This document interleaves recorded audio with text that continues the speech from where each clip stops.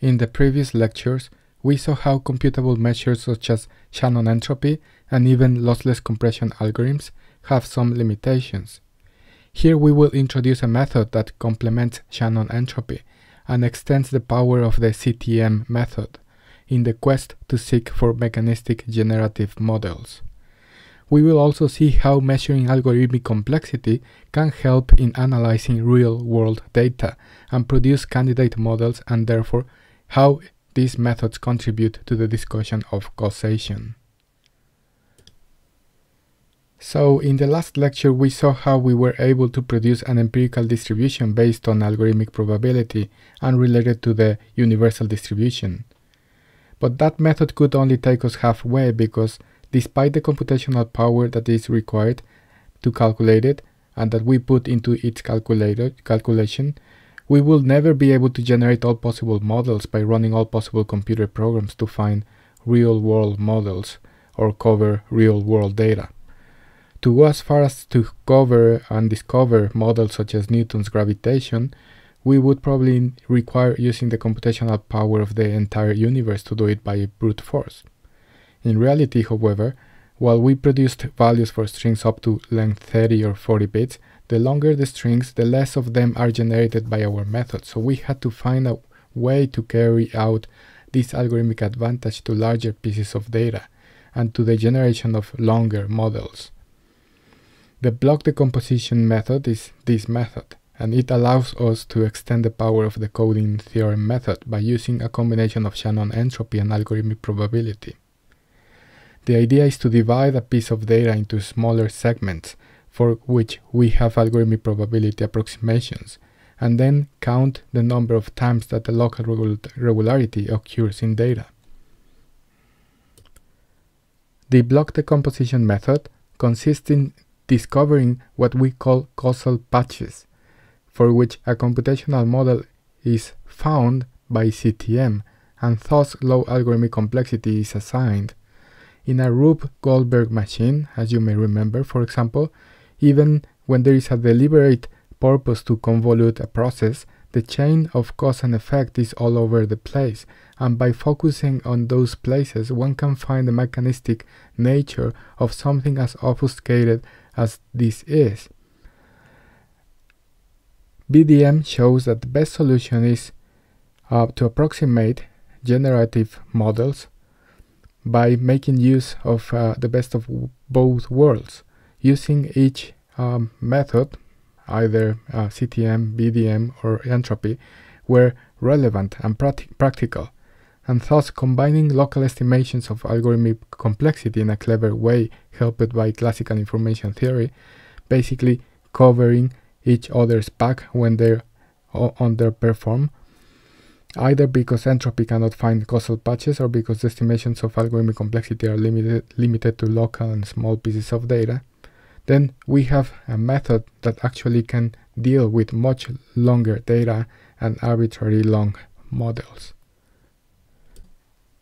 The idea is that we can cover any system or object as we have on the screen with as many local observations to fit our CTM method that is able to deal with small objects, and then the aggregation of the information of all those pieces together would give us a good idea of the nature of the dynamical system, and even give us a landscape of which pieces are of lower or higher algorithmic complexity in the system, telling us, for example, which regions may be subject to external sources of information that may appear as noise. So this is how the formula for BDM looks like. BDM decomposes a piece of data X into k smaller pieces for which estimations to their algorithmic complexity have been pre-calculated by CTM. But if some of those pieces are exactly the same, we just don't add them twice. This is because two objects that are the same should not have twice the same complexity.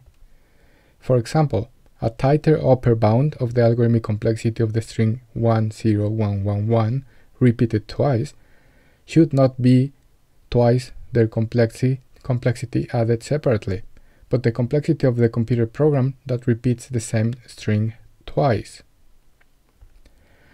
So estimations are cleverly added up according to classical information theory, because we know how many bits we need to produce a repetition, which is the logarithm of the number of times that such an object with index i is repeated. There are some other ways to do this even more sophisticated, and we have explored many of them, if, if not all. For example, not adding the complexity of two pieces that look statistically similar. So the more similar to each other, even if statistically, we know that we can write a computer program taking advantage of such similarity to only include the complexity of one of the pieces, and then only add a fraction of another similar piece to the first one. However, the performance of these other ways to add up such pieces was similar for practical reasons, so in general we will use this simple version unless we specify otherwise. There are some other parameters involved in the formula, L, for example, tells the size in which the object should be broken, and M allows overlapping those pieces for a more, more smooth coverage like the one we saw in one of the Rube-Goldberg diagrams with the um, red circles uh, overlapping each other. CTM, in contrast, requires the number of n states of the rule space from which the estimation of algorithmic complexity is made, and k the number of pieces in which um, the original data was chunked. You may remember that entropy produces a Bernoulli distribution when plotting entropy values of all strings up to some length, sorted by the number of ones.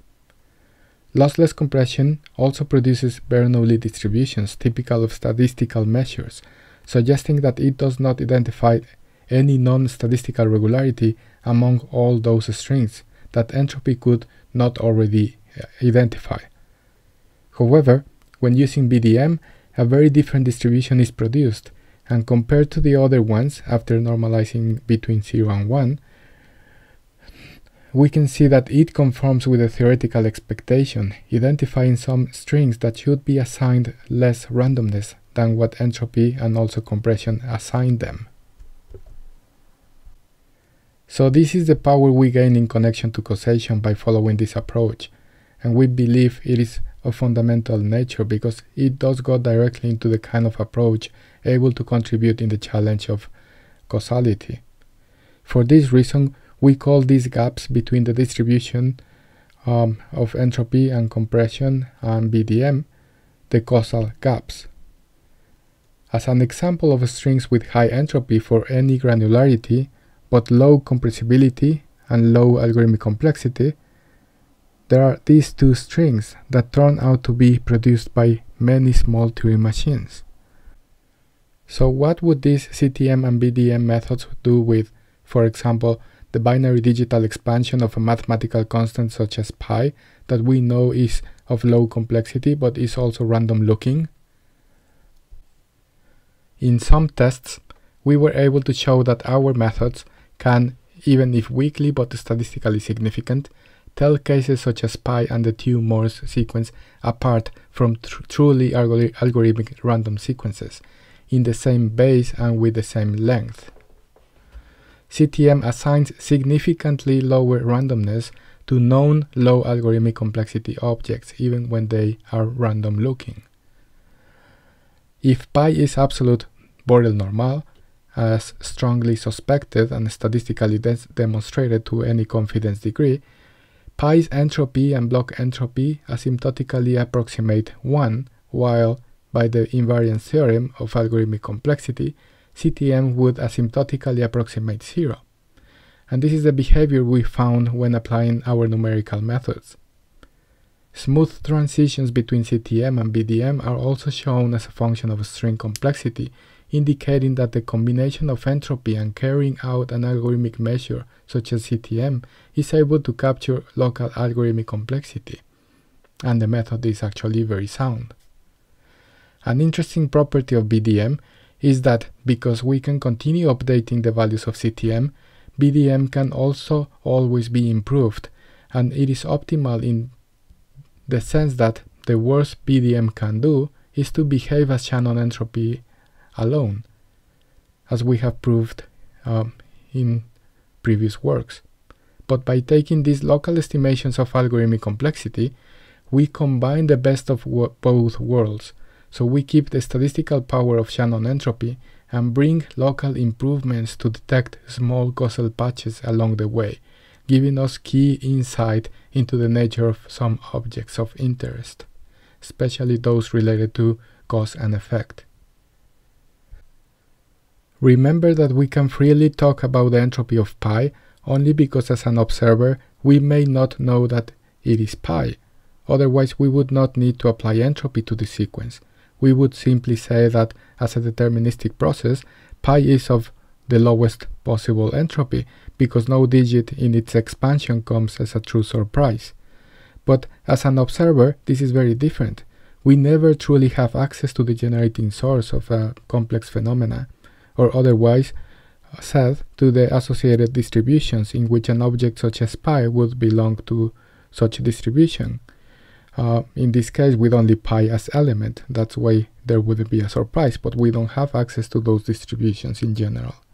So as an observer, just as it happens when we throw a dice, we have no access to all the details and information in the process about the object, and we are forced to apply methods such as entropy, compression, or our methods, and they would compete at detecting features other than pure randomness, where we know no randomness exists. Many tests can be performed to see if the measures based on CTM and BDM conform to the theoretical expectation, are robust and well behaved. We know, for example, that sorting strings by complexity and measuring their logical depth, one should get a concave down curve because logical depth assigns shallowness to both simple and random strings, with only the strings in the middle of those two cases assigned high logical depth. And this is exactly what we get when sorting strings by CTM and BDM, but not when sorting by compression or entropy, even though CTM and BDM are generalizations, but are also improvements over both entropy and compression. In the next unit, we will provide more tests that provide evidence of the stability and robustness of CTM and BDM. To illustrate how CTM works, this is one example of a model found by CTM. The rule of the Turing machine shown on top produces the string 001110001011, and the Turing machine represents a generative mechanistic model for that string. There were only very few short computer programs able to generate the string, and the string is therefore of high algorithmic complexity. Yet the string is produced in relatively short time and thus has low logical depth, or is shallow. To illustrate how BDM works, let S be an observation, for example, of the evolution of a dynamical system in space and time, but we only see the last evolution, for example a long string such as the one on the screen. Then the estimation of the complexity of S over space or time Finding algorithmic models reproducing S or versions close to S is obtained by the aggregation of smaller models to produce a set of candidate larger generative models producing and mechanistically explaining S.